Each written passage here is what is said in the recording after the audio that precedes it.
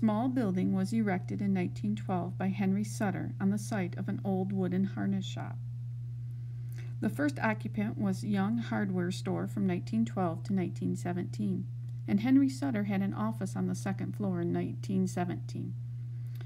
G. A. Tash and Company was an undertaker and made caskets here until 1921 when a fire heavily damaged the building. In 1924, there were a set of large double doors on the second level to allow the storage of an airplane, although no record of an actual complete airplane was found. In 1926, Bicycle Ben had a trucking company.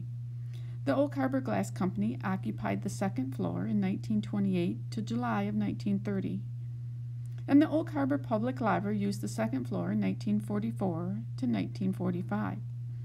In August of 1930, the building was leased by the village until it was bought in February of 1935.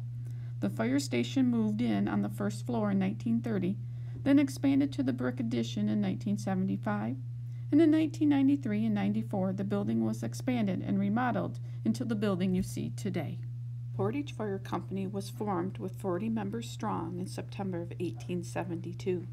A used hand engine was purchased, which attained a 236 foot stream with 30 men at the brake. In 1880, equipment included one hand engine, one hose cart, one hook and ladder, one fire bell, and 22 members. In 1883, a steamer was purchased from the Mansfield Machine Works. And in 1928, a massive American LaFrance Type 91 engine, 500 gallons per minute, was purchased. In August of 1930, the department moved to its current location. The earliest documented major fire in the department's history was in August of 1894. One side of a downtown block and half of another was destroyed. The Portage Fire District was formed in November of 1983 to carry on the long and proud tradition of firefighting in Oak Harbor and Salem Township.